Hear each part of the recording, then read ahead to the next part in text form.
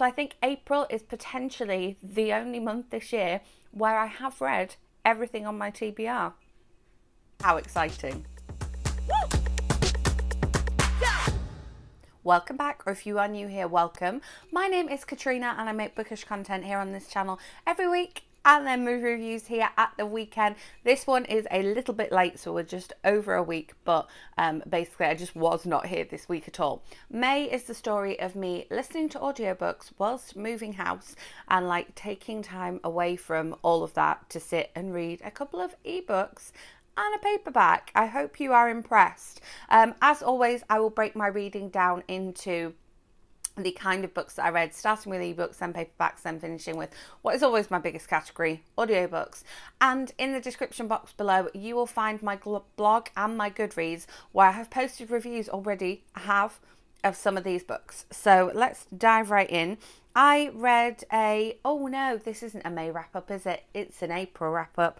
I I read um, an ebook that is released on the 10th of May here in the UK, and this is The Cassandra Complex by Holly Smale. I love Holly Smale. I loved her Geek Girl series. I enjoyed her Valentine series. I mean, obviously we know her for her Geek Girl series, but this is own voices representation for um, autism. And um, the main character cassandra is um, uh, has autism and is um, trying to sort of function in life when she finds that she has a kind of special power to be able to relive some of those moments again and sort of do them better this was quite a stressful read, but in a really good way. It made me really uncomfortable in a really good way. I loved everything that it was doing. I just thought it was amazing. I haven't posted my review yet because, as I say, it's not out until the 10th of May. But by the time you're watching this video, I may have posted it on my blog, so keep an eye out for that. Um, because I just this this book was fabulous. I couldn't wait to get back to it even though it made me uncomfortable because I felt like there was really good reason for it making me uncomfortable.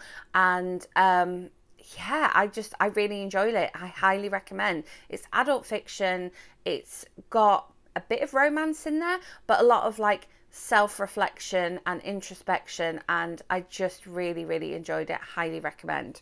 And then the other ebook I read is also a I think May 10th release. This may be May 8th because sometimes ebooks that are part of a series are released slightly earlier. I'm just trying to find it. I read the first part of the um, All Things Crafty series from Bella Osborne, an invitation to see Seashell Bay. Now, this one was a little bit stressful as well because we have our main character who is trying to sort of get her crafting business a little bit more off the ground. Um, and she goes for a pitch at a much bigger crafting business to try and kind of work with them on some exclusive products and um, her day does not go well when she goes into London to pitch to this other firm. You know, everything that could go wrong does, um, and you know, it's it's just one of those comedy moments I really felt for her. Um, and then when she sort of gets back, she knows she needs to hire an assistant. That also lands her into a little bit of um, not bother, but like it's harder than it needs to be. Um, but I am really intrigued to find out what happens next with the sort of hiring an assistant, getting her business further off the ground thing for her. And then we have her flatmate, who is a teaching assistant, and um, is a teaching assistant in like a really awful school situation. Like the teaching assistants and the teachers are just completely separate. They never eat lunch together. They're really disrespected. They're not allowed to mark books, which I think is really, really strange because if a teaching assistant is working with a group, if they're doing ass- assessment as they go along for that group, they should be allowed to mark the books of the group that they've marked or if they were an integral part of the lesson, then they should be allowed to mark books for that lesson. I was like, oh, she's like, oh, I could get into trouble if you find out it's it's not me, and I've like learned how to forge the teacher's writing. I'm like, mm, this sounds really bad. I want her to like get out of there, offer her some uh, some coaching. But she's at a little bit of a crossroads in her life as well, and so they make a really good pair, and they make for some really interesting um, reading. Although there is some uh, safeguarding stuff going on at the school that's really like bothering me. Like I want to kind of step in and do something there. Um, then moving on to my paperback read, which I have definitely got a review of on my blog because I was part of the blog tour for this one. This is the Book Lovers Retreat by Heidi Swain. Now, when I filmed my April TBR because we're April, not May. Um, when I filmed my April TBR, I um, had not started reading all of this one yet, and I didn't realize, but this is the book that I am actually in. Um, so in the acknowledgements, it's no no spoiler here, but in the acknowledgements it says. Um, congratulations to Katrina Merriweather, uh, who's been waiting to see her name in one of my books since December 2021. I hope you like the part you've played and thank you for your patience. Such is the schedule attached to writing two titles a year. I know you've had an extremely long wait, but that said, it really does feel like this one was the right fit for you, which I absolutely agree. This was the right fit for me. I liked the um, character my first name was attached to. It's not my whole name. Um, but this one is a book about book lovers who like come together and go to the location of a book series and its film spin-off in the Lake District. Now, I was actually meant to be going up to the Lake District just as I'd finished um, reading this book. I was actually going to be there just the day before my stop on the blog tour. So I was like, I can get great pictures. But then I had some car issues and didn't end up managing to go because I had to get the car fixed first. Um, but this was just wonderful. Um, it's a standalone, and um, I think is it Heidi's first standalone? It's very exciting that it's her first standalone, and I love the image of the two people on the front here, like reading on the window by the Lake District, because I know, like most Aprils for my entire life, I've sat near a window with this view, reading a book, enjoying reading in the Lake District, and so I can really like feel and identify with these characters. Um, we've got sort of a group of three friends who come together. Then there's another friend who joins them, and that puts a bit of a spanner in the works. Then there's Katrina, the person who's let the cottage to them. Then there's the guy that works in the bar. Oh, a whole cast of characters who are really very interesting and um, oh, I just loved it. I really, really loved it. I read it very, very quickly. I really enjoyed it. I did read, I read? Yeah, I read the paperback version. Um, and yeah, it was just, it was wonderful. Rom com at its best, a book about book lovers set in the Lake District. What more could you want for a nice spring to summer read? Hey. Um, then into all of the audiobooks, and again, all of these were on my TBR. So I managed to read finally the next book in the um, Hopeless series. Oh, goodness, that's shiny. So I read Losing Hope, um, which is the sequel to Hopeless. Um, and this one is the same story, but from Holder's point of view. And so that was interesting because I didn't realise it was going to be the same story. I thought I was going to find out what happens next. But it was really interesting hearing the the whole story from his point of view.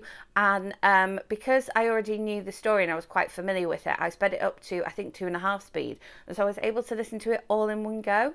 Um, this story is so interesting. It's not what I was expecting. However, I did then go ahead and read the um, next one in the series because I was like, maybe this will tell me what happens next. Finding Cinderella, which is the next novella in the series. This book, this series is two books and two novellas, um, and this one did not tell me what happens next in the series because this takes Holder's friend Daniel and um, one of the other characters from the series who I'm not going to mention because that would be a spoiler and puts them in the limelight. But although it didn't tell me what happens next to um, Sky and Holder, it did um, give me a bit more depth to a couple of the other characters from the series, and so I really enjoyed this one. So I listened to those literally back to back whilst painting the skirting board on my stairs. So there's a little insight into exactly how I read it. I'm sorry, it is still really quite early, so we're we're we're chugging the iced coffee here. We got the colour changing Disney Castle, of course. It did have Minnie Mouse ice cubes in, but obviously when you put the espresso on top, they are no longer Minnie Mouse shaped. Um, then I listened to a book for a book versus movie. Now, it's not a full book versus movie, but it is a book versus TV series. So I have watched four out of the six episodes of the TV series, but I have read the book, and so I've listened to Fleishman is in Trouble by um, Taffy Bro- Brodesser Akner. Um, and this is a series which um, here it is on Disney Plus, so I imagine in the US it is on Hulu. Um, and this one stars Jesse Eisenberg and Claire Danes and like a whole host of other people. It's really sort of heavily cast. I really enjoy the casting in it. Now, I'm not sure how I feel about the book, but I feel like when my book versus movie video comes your way very soon, make sure you subscribe and hit that notification bell so you don't miss out on that one. I feel like I'm going to feel the same way about the TV series as I did about the book. Like I just feel a little bit it was it was fine. Like there's nothing there's nothing bad that I could find about it, but it didn't grab me and it didn't kind of um it's not very memorable. I think that's that's my sort of issue with it. And yet I was attracted to the book because I saw the trailer for the TV show when I was at the cinema. Um, and so I was like, oh, this is based on a book. I'll get the book, I'll read the book, we'll watch the TV show. This looks like something I will enjoy. Um, yeah, this upside downness of the cover though will feature in my book versus movie discussion because that's it's significant. Um, and then a couple of non fictions that I really enjoyed listening to. Again, whilst mainly painting, um, painting skirting boards, painting staircases, uh, unpacking things, and assembling things. There we go. I think I, I built the bookcases you see behind me whilst listening to a couple of these. So I listened to Losing It Sex Education for the 21st Century by Sophia Smith Galer. Um, and now, this one, she is a journalist, but she talks a lot about the new curriculum that came in in 2021. She mainly does so from a secondary perspective, um, but she does talk about primary a little bit. Um, in case you're unaware, I am a primary school teacher, um, and I do predominantly have uh, throughout my career I've predominantly taught year six and so this is definitely relevant to me.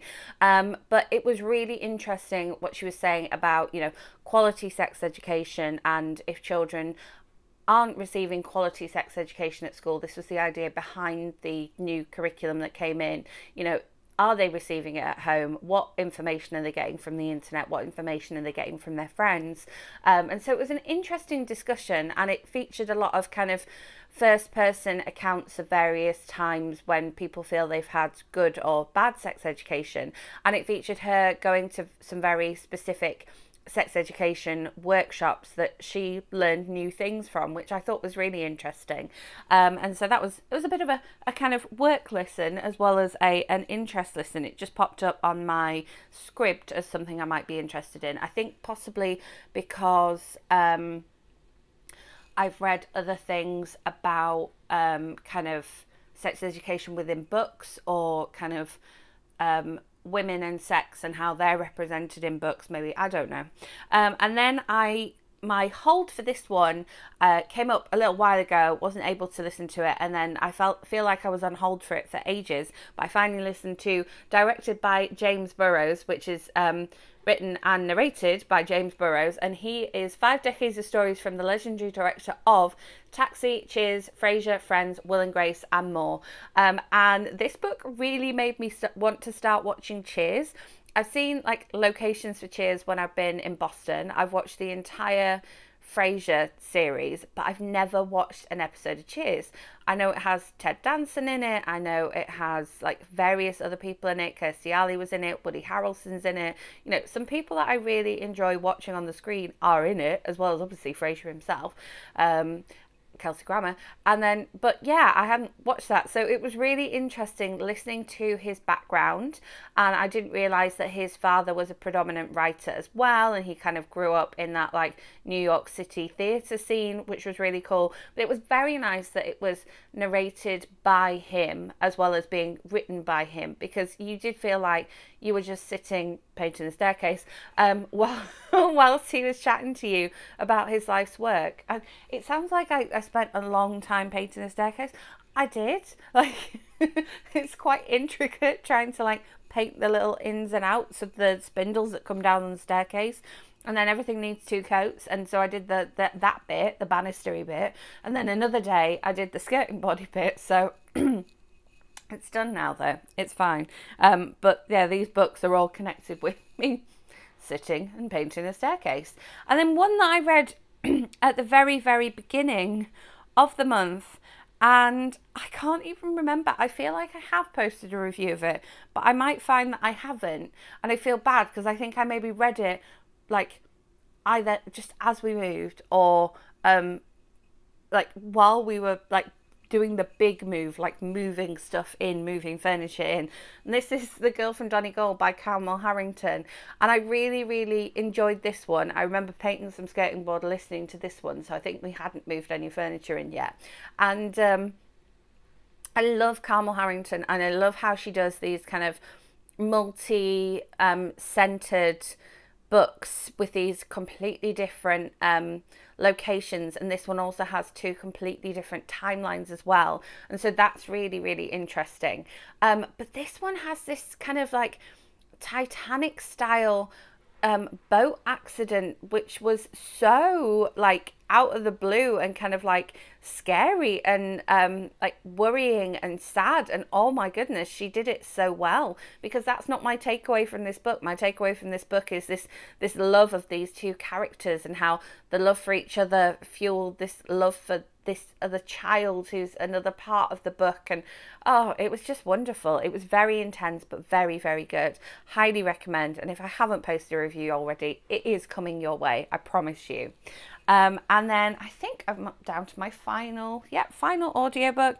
I bought this one on Audible. I feel like I maybe pre-ordered it on Audible and then kind of forgot that it was coming.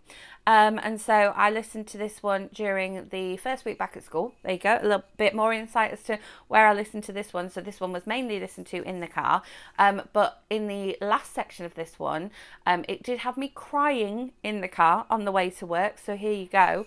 Um, if you are um, on TikTok at all, you will know this person. Um, this is Me versus Brain, an Overthinker's Guide to Life by Hayley Morris. And this is I found her videos because, you know, she has Brain as a main character, and then it's like Brain and Hotel Vagina, and Brain saying, "Oh, uh, we, you know, we need to take all these pants on holiday. And what if we, what if we poo ourselves, and what if we poo ourselves twice that day? We better take all the pants and that kind of thing." And I'm like, "Yes, I, I understand this, but." This does actually delve into kind of intrusive thoughts and anxiety and panic attacks um, and sort of talks about her life as well. I didn't realise that she um, worked as part of the um, cultural representative program at Disney World. That was interesting. She talks about COVID, she talks about her family, and yes, the very last couple of sections of the book did make me sob on my way to work. So, really recommend this one. It's written and narrated by her, and so if you have connected with her videos online, um, then it will be sort of a familiar voice talking to you, perhaps on your commute or whilst you know painting skirting boards, apparently. Um, so yeah, there we have it. That is everything I read in the month of April, not May, as I keep kind of trying to say. It's because I'm thinking about my May reading as well. Um, ebooks, physical books, audiobooks. As I say, in my um, in the description box, my blog my Goodreads have reviews of a couple of these and reviews of a couple of these. I know scheduled to post soon, so make sure you check check there if you're looking for a written review of those. Book versus movie, book versus TV series for Fleishman is in Trouble is coming your way. So make sure you're subscribed and hit that notification bell. And I also have the final part of the Hopeless series on my May TBR. So make sure you check that video out as well. I will leave that one in the end screen. Let me know in the comments what you read in the month of April and what you do whilst listening to audiobooks if you are an audiobook listener like me. Um, and uh, I will be back with another video very soon. If you enjoyed this one, give you a Give it a thumbs up and I will see you then. Thanks for watching.